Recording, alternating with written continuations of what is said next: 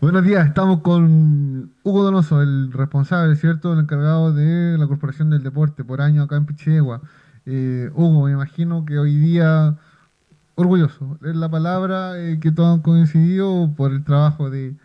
Es un proceso, no, es algo de la noche a la mañana, del cual eres uno de los, de los factores, ¿cierto?, principales. Sí, eh, coincidimos plenamente, absolutamente estamos orgullosos, estamos chochos. Eh, por el trabajo de estos dos chicos escolares. Imagínate lo que significa que en 40 años de historia de los Juegos Deportivos Escolares, la región de O'Higgins nunca había tenido esta actuación relevante en lo que es la disciplina del ciclismo. Y obviamente que esta comuna ser parte de eso eh, nos fortalece, nos motiva, nos incita a seguir creciendo. Hoy día el ciclismo tenemos un compromiso tremendamente importante porque se ha convertido en un deporte estratégico. La etapa de los escolares son los 13-14 años, y después viene el proceso de los juegos binacionales, que son estos juegos que se hacen con las cuatro provincias argentinas, y donde obviamente eh, la antesala de estos escolares, eh, su continuidad es con los juegos binacionales, porque es prácticamente a los 18 años. Como vivencia, extraordinario porque eh, les permite obviamente ya viajar, aunque sea aquí al otro lado de la cordillera, a cuatro provincias argentinas en, años alternados. El año pasado estuvimos acompañando, aparte de esta delegación chilena constituida por Pichideguano, en Córdoba. Y recién ahora compartíamos eh, e-, estos reconocimientos eh, al hermano mayor del ciclismo, y que tiene que ver con Ignacio, o sea, cuando empezamos y decimos que un deportista en Pichidegua, sin desmerecernos como tal, como comuna, eh, como trayectorias deportivas, que viene volviendo de China, de una vuelta a China, que corrió el Mundial de Austria, que estábamos viendo recién por, las, por, por, por los medios de comunicación internacionales, que abortó un viaje al Ecuador, o sea, y estamos hablando de un niño de Pichidegua. Y en ese Ignacio Espinosa, obviamente, es el hermano mayor y eso es lo que está proyectándose hoy día. Estos chicos pueden soñar, eh, pueden decir que el día de mañana pueden ir a correr a, otros países. Junto a Ignacio, si bien es cierto, no son pichideguanos autóctonos, pero están incrustados ya en el equipo de nosotros. Eh, Oreste Cortés, Antofagastino con Jean Paul, vienen también volviendo de España. Chicos con 18 años de edad. Entonces eso nos está permitiendo soñar ciclismo eh, de elite, eh, esta cadena, juegos escolares, binacionales, equipo elite.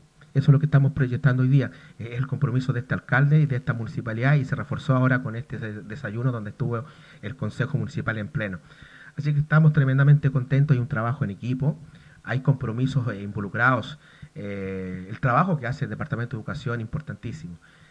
obviamente liderado a través de la actividad extraescolar con, con Roberto. Eh, llama la atención en, otras comunas eh, eh, el, trabajo, el compromiso, la complicidad que tenemos en el desarrollo de esta gestión mancomunada entre este, este, encargado de deporte o este encargado de esta corporación con, Roberto Ojeda como extraescolar. Pero eso nos permite a, que estas cosas no tienen nombres propios. Estos son trabajos en equipo y es lo único que nos va a permitir desarrollarnos en una vía ya deporte formativo, pero con proyección competitiva. Así que mm, contentísimo. Eh, es lo que podemos obviamente analizar y desmembrar tantas aristas que tiene esta participación de estos, de estos ciclistas dorados y con platas y con bronce que se trajeron a, a y, que engalanaron a la, a la, región de O'Higgins por primera vez en sus 40 años, subirse al podio como campeonas nacionales las mujeres y eh, tercer lugar a nivel nacional eh, en el podio a través de los varones.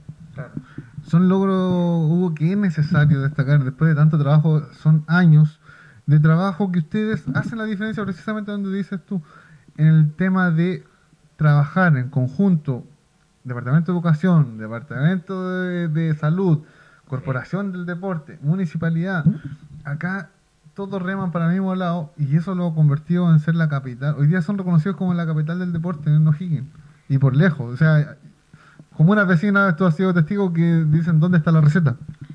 Bueno, yo creo que estás dando pie en lo que tú mencionas. Eh, nosotros hemos, hemos creído que si bien es cierto, también tenemos que ser honestos y reconocer que hemos reaccionado a la reacción de la actividad. O sea, nosotros nunca nos proyectamos con deportistas de alta competencia. Ya el año pasado nos vimos enfrentados primero con Ignacio en ciclismo y segundo con la chica que fue preseleccionada y que yo creo lamentablemente abortó por situación personal la selección chilena de fútbol, que en este caso es la chica Natalia eh, Lizana. Entonces nos vimos enfrentados a que nuestros deportistas estaban saltando más allá de este deporte de formación. Entonces, eh, bajo esas circunstancias hicimos cambios radicales. El ciclismo en Pichidegua siempre ha tenido participaciones para no ser mezquino a las cosas que se han hecho con anterioridad. Eh, siempre ha, habido un seleccionado binacional, siempre ha habido una medallita en los Juegos Escolares, pero teníamos una, una, limitancia que es la, es, la, es la preparación. Y tú lo sabes bien también como deportista de alta competencia, que los procesos sistemáticos con planificaciones hechas por un profesional en terreno en este caso, eh, se convirtió finalmente en la llegada de Pablo Ramírez, eh, con los pergaminos de haber sido ciclista panamericano medallista, eh, haber si, claro, haber sido, claro, con récord panamericano, haber sido 14 veces campeón nacional en Chile y dos años corriendo en Europa. Entonces esa persona se vino a Pichidegua a trabajar con otros ciclistas. Y ahí obviamente que está el resultado de este proceso metódico semanalmente, donde estamos amparados en preparar a estos chicos y también seguir buscando talento. Y por eso hay un trabajo también que Pablo desarrolla semanalmente en Enrique Serrano como escuela básica y Patagua Orilla. Y ojalá estas medallas de estos chicos nos permitan que otros niños se interesen por esta disciplina y por eso está este compromiso generalizado de todos estos grupos, donde también juega un rol muy importante la familia. Así que esperemos seguir creciendo.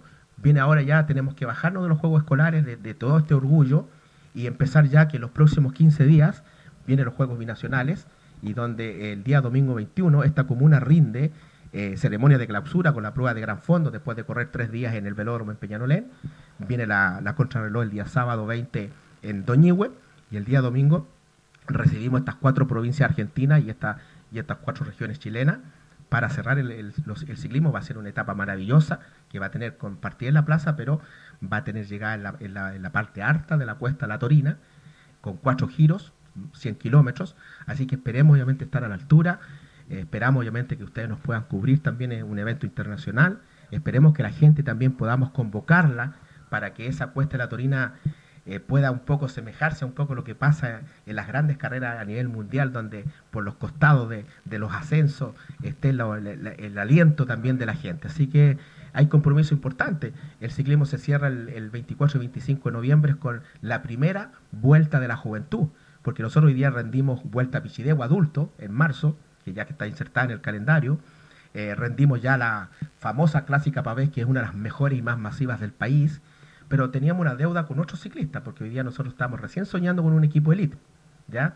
Entonces, por lo tanto, hoy día merecen también todas las categorías menores, infantiles, juveniles, intermedias, junior y damas, tener una vuelta a la juventud que va a ser el 24 y 25 de noviembre y que se pueda insertar definitivamente también, tal como las otras dos pruebas, a nivel nacional por muchos años.